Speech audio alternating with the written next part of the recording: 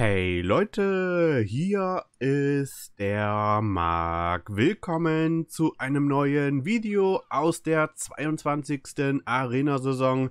Wir sind heute mit dem britischen Premium-Kreuzer auf Stufe 6 der Tiger 59 unterwegs. Bevor wir ins Gefecht gehen, schauen wir uns kurz an, welche Module und Kapitänsskillung ich nutze. Ich nutze Zielsystem Mod 1, als zweites Steuergetriebe Mod 2 und zu guter Letzt Tarnsystem Mod 1. Und als Kapitän nutze ich den Bruce Fraser mit der Basisfähigkeit Beeilung und geskillt habe ich Panzerbrecher, bevor es zu spät ist, Durchstoßen, fixiert, als legendären Skill unbedingt vollständig verpackt. Wir haben hier wirklich sehr viele starke Verbrauchsmaterialien und bei den Inspirationen den Francesco Mimbelli und den Gunichi Mikawa. Und ich würde sagen, wir gehen mal direkt ins Gefecht. So, wir sind im Gefecht mit dabei der Captain Yoink in der Leningrad und der Tactic Angel mit der Benson.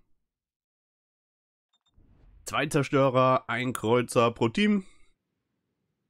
Zwei Fidschis und eine York haben wir, was die Kreuzer angeht. Da müssen wir auf jeden Fall aufpassen. Alle drei Schiffe haben auf jeden Fall auch sehr gute AP und eine Tiger ist natürlich sehr anfällig, was Zitadellen angeht, wenn man Breitseite zeigt. Aber speziell gegen Zerstörer ist dieses Schiff auf jeden Fall sehr, sehr stark. Definitiv auch nur ein Schiff, welches für mich für Arena in Frage kommt und dort dann auch eher eine der ja, letzten Möglichkeiten, die ich spiele, im Standardmodus ist dieses Schiff einfach nicht interessant. Dafür sind die Hauptgeschütze einfach nicht gut genug. Aber im Arena-Modus, wenn man mehr oder weniger provozieren kann, durch eine Division viele Zerstörer in der Runde zu haben, mit den Verbrauchsmaterialien definitiv sehr, sehr gut. Auch die AP macht natürlich richtig viel Schaden gegen Zerstörer. Es ist aber auch hier in der Arena ein gewisses Risiko dabei. Wir haben nämlich hier kein Sonar, auch wenn dieses Schiff einfach verdammt geile Verbrauchsmaterialien hat für die Stufe mit Eilung, Nebelwand, Radar, mega krass, haben wir halt keinen Sonar und äh, das kann definitiv gefährlich werden, wenn man dort einmal sich in eine schlechte Position reinbringt. Torpedos kommen, sieht man diese natürlich nicht rechtzeitig. Von daher ja, 8,5 Kilometer Radarreichweite. Musste ich gerade selber hier nochmal checken. Tiger ist jetzt nicht unbedingt ein Schiff, was ich wirklich viel spiele. Das ist meine, ich glaube, allererste Arena-Runde und ich habe vielleicht eine Handvoll Standardrunden mit dem Schiff gespielt. Von daher nicht unbedingt ein Schiff, welches ich gerne spiele. Zumindest im Standard. Wie gesagt, Arena sehe ich dort auf jeden Fall Potenzial. So, wir fahren fürs Erste nach vorne. Dort haben wir auf jeden Fall auch schon mal das hellrote Team entdeckt mit der Fiji. Eine der zwei Fijis, muss man dazu sagen. Wir sind jetzt hier auch aufgeklärt. War von der Benson. Der dreht jetzt hier schon raus. Schöner Treffer hier, drei, vier Granaten getroffen und schon fast den halben Zerstörer weggeschossen. Hier kommen aber auch schon einen Haufen Torpedos. Dort auch die Yukikase entdeckt.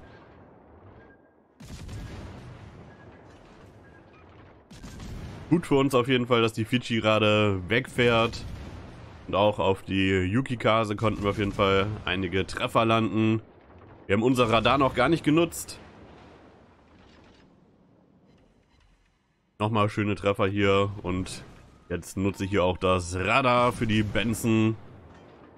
Benson natürlich hier direkt einen Brand bekommen. War jetzt vielleicht nicht die schlauste Idee, dort direkt das Schadensbegrenzungsteam zu nutzen, falls wir doch ein Torpedo kassieren. Und die Yukikase erwischen wir hier auch noch mit dem Radar. Läuft allerdings jetzt in wenigen Sekunden aus.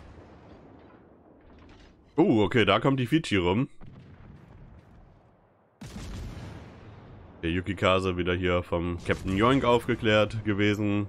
Oder nee, vom Taktik in dem Fall. Und damit sind die ersten zwei Zerstörer draußen. 22.000 Zerstörerschaden. Leider die Fiji dort wirklich unerwartet rumgekommen. Und das tut natürlich im Taktik jetzt hier auch weh. Können jetzt hier die AP nutzen.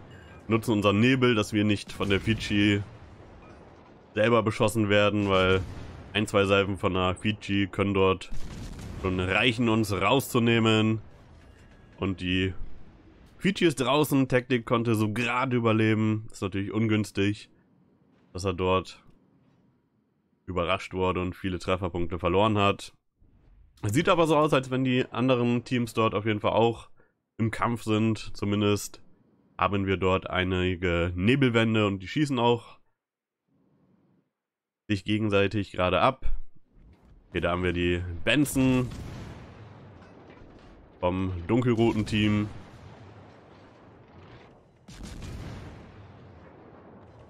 Ah, sehr schön. Wir konnten uns hier den Kill snacken, mehr oder weniger von der Seite. Und dadurch, dass die feindlichen Zerstörer auf sich gegenseitig geschossen haben, sind diese auch alle aufgeklärt. Asachi hier allerdings einen guten Job gemacht, was das Ausweichen angeht. Endlich mal eine Granate hier getroffen.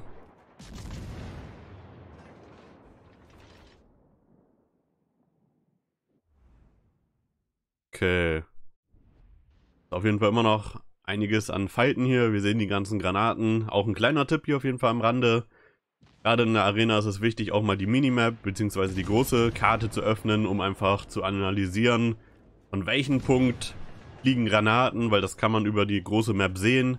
Selbst wenn man beide Teams nicht aufgeklärt hat, sieht man quasi ähm, die Herkunft der Granaten und wo diese natürlich auch hinfliegen und anhand dieser Informationen über die große Karte kann man halt direkt sehen, welches Schiff ist vielleicht an welcher Position. Dort kommen mehr Granaten, muss ein Schiff sein mit höherer Feuerrate, vielleicht ein Kreuzer oder sowas. Das ist auf jeden Fall mal ein guter Tipp, um dort sich ein paar Vorteile zu schaffen, ein paar Informationen, die man eigentlich sonst nicht haben könnte. Einfach über die Karte, indem man sie öffnet. wir schießen jetzt hier ein bisschen auf die York. Fährt hier allerdings wieder rückwärts. Nicht unbedingt die besten Treffer, die wir hier landen. Wie gesagt, ist jetzt auch nicht unbedingt ein Schiff, was ich viel gespielt habe. Von daher muss man sich wahrscheinlich erstmal ein bisschen an den Schussbogen gewöhnen. Wir werden jetzt hier leider auch vom orangenen Team beschossen. Aber ein bisschen Schaden konnten wir der York machen. Das ist schon mal angenehm. Lassen uns jetzt hier vielleicht fürs Erste wieder zugehen. Der Captain York ist im A-Punkt drin, ist jetzt auch umkämpft. Wir möchten natürlich nicht die Basis einnehmen, aber das ist immer eine gute Möglichkeit, die Gegner vielleicht auch zu locken. Die Benson eröffnet dort das Feuer. Oh, da ist auch die Fiji. Leider jetzt natürlich gerade die Insel hier im Weg.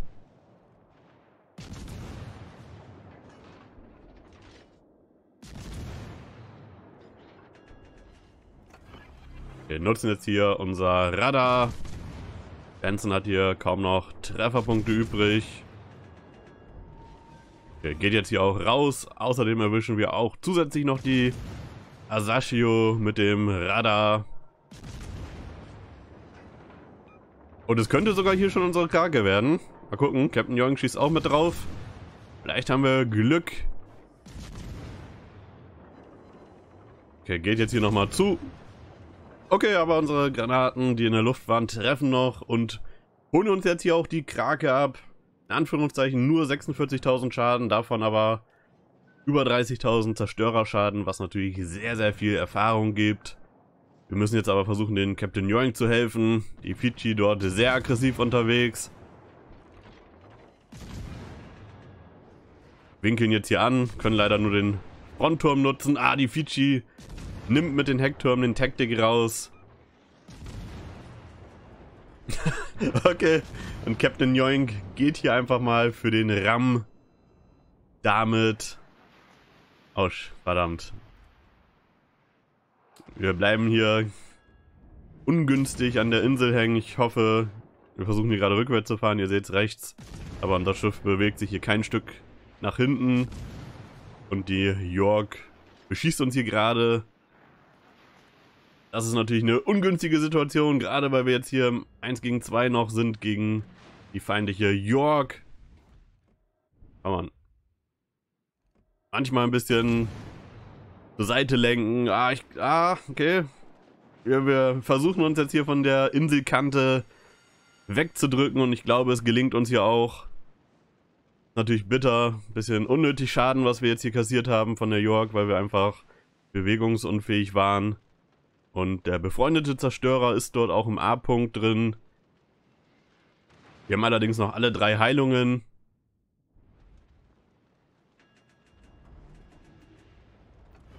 Okay. Nutzen jetzt hier die erste Heilung. Wir müssen halt sehr, sehr aufpassen. Genau deswegen. Torpedos.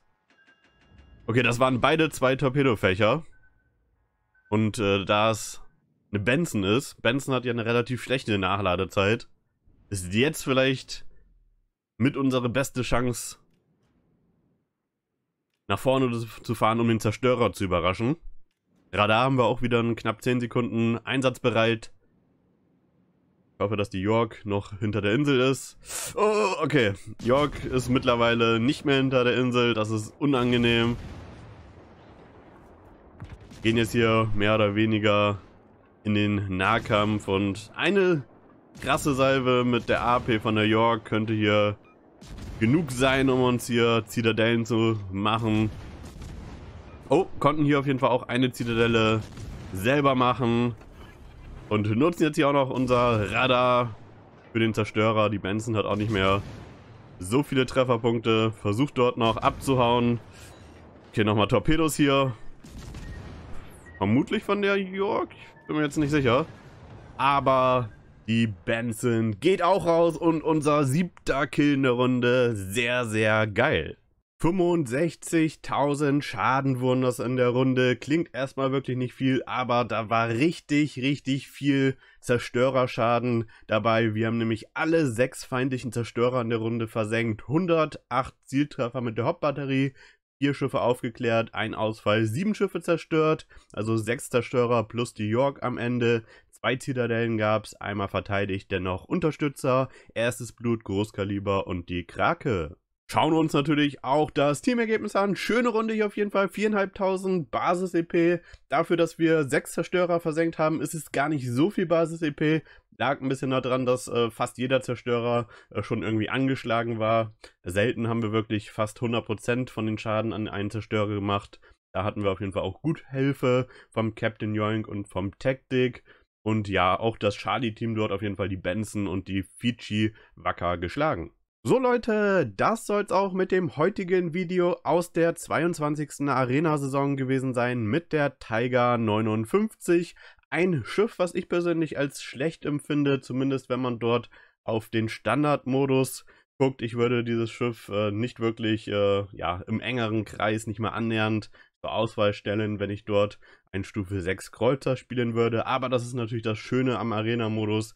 Dort können auf jeden Fall auch Schiffe, die vielleicht im Standardmodus nicht so gut sind, wie die Tiger auf jeden Fall brillieren und gerade gegen Zerstörer ist dieses Schiff auf jeden Fall eine Waffe. Das kann man auf jeden Fall nicht anders sagen. Wenn ihr noch irgendwelche Fragen habt, schreibt es gerne in die Kommentare. Ich hoffe, es hat euch gefallen. Lasst auf jeden Fall ein Like da, ein Abo wäre spitze. Schaut in die Videobeschreibung. Dort findet ihr meinen Twitter-Account, meinen Twitch-Kanal, meinen Discord-Server. Schaut dort gerne vorbei. Ich würde mich freuen. Und wir sehen uns dann beim nächsten Mal, Leute.